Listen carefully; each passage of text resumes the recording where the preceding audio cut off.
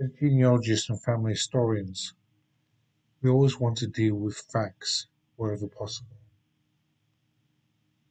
And a fact could be something as simple as an occupation, for instance. But every fact must have a source, and every source must have a citation. Within Ancestry.com, at the very heart of a profile, both facts and sources. And it's important as an Ancestry.com user to ensure that facts are supported by sources, and all sources support a fact. So here we are at Clarence Hemingway. Let's go ahead and look inside the Ancestry system live and see how facts and sources support one another. Here we are live in Ancestry, and again we're looking at Clarence Hemingway. Here is his profile. One thing that many users of Ancestry are not aware of is that I can filter some events off here. I can take away these events in blue, which are, even though they're facts, they're brought across from another profile, so I can remove those. You see it looks cleaner now. And name and gender is also optional. I can have that switched on or switched off. But here we are at Clarence, and his profile is well balanced where the facts and sources support each other. So every fact relates to a source, and every source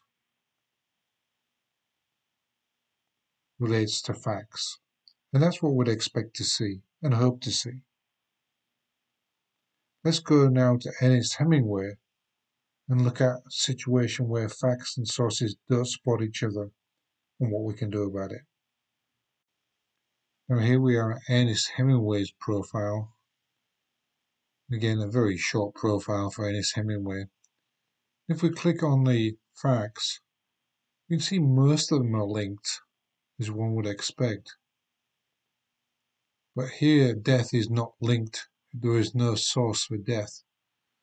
As I come down the actual list of sources, I've got what I would call orphan sources here, sources that don't relate to anything. Now this is often caused by bringing in hints and not referring the hints to a fact sometimes it's pretty easy to resolve. I've got a death here, and I've got a death here. And obviously I do some research to make sure it's correctly supporting my fact. But the assumption here that is, I can link this source to the fact and close.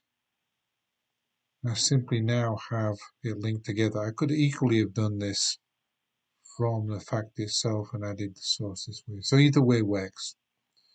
Now, some sources, let's view this one. We'll go directly to this source here and click on the actual image. This is a marriage application for Patrick Hemingway, who is Ernest Hemingway's son. So there's Ernest Hemingway. Now this happens after Ernest Hemingway has died. So we'll have to create a special fact to connect this record, this source, into this profile. Let me go ahead and do that. Here we are back at Ernest's profile. You see this is the source we're talking about It's an orphan source, it's not connected to a fact. So we really need to have a fact to make that source relevant. And there's no facts currently in a profile that correspond to that source, so I need to create a new fact. When I go to Ancestry, there is no fact that says son's marriage application, so this will be a custom event. create this really quickly here, just do son's marriage and it was the 9th of Feb 1982, I believe. And in this case, Ancestry is actually warning me that this date is after the death of Ernest Hemingway, which is fine. I want to have this information on his profile, so I'll do add anyway. And here's this new event here in 1982. Now, now this is a, an orphaned event, but I can connect it to the source simply by here, attaching to the source the Montana marriage record here. And now we have a source with a fact and a fact with the source. It's important to know how hints work in this regard as well. So let me go to hints on Ernest. And we can just take this first one here, this passport. Now, obviously, all hints need deep investigation, but just for the purpose of this video, let me review that. And we'll actually add it to the tree. So what what this looks like here on the left hand side is that this is the name of Ernest Hemingway. So if I click here, I can do cite source, or because the name is different slightly, I can cite it as an alternative. But let me go ahead and save that and just save to the tree here and go back to facts.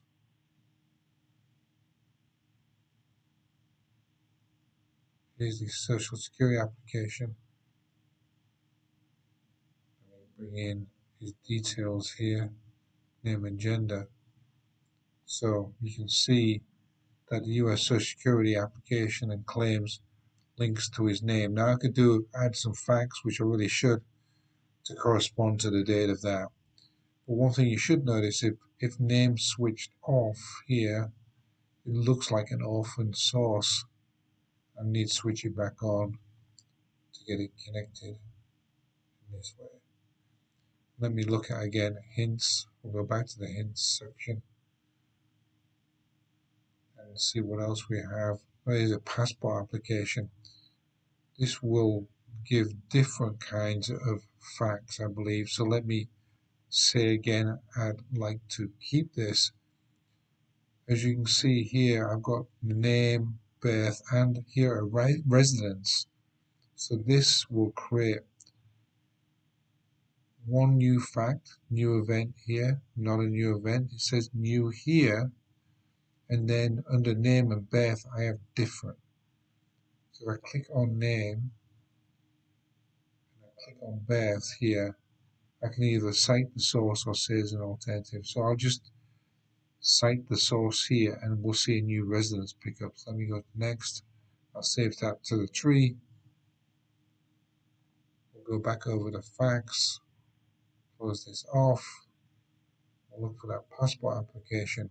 As you can see now, it's linked to name, birth, and the residence of France. Now, here I really need to do some more investigation and change the date, maybe whatever date that would be, to get it linked in to the correct time frame. Here we are. And I, again, I can disconnect uh, facts from sources if I wish, or sources from facts. So if I want to disconnect this from, let's say, his name, I just connect it off. If I want to connect it to his address, connect it in. So there we have facts and sources. So the, the real underwriting point of this video is that all your facts should point to a source. As we go through, they all do. And all the sources, even the ones you've created, should point to a fact. In that way, you have a very clean profile, no orphan sources, no orphan, orphan facts. Thank you for listening. Hope you found this informative. If you have, please like and subscribe.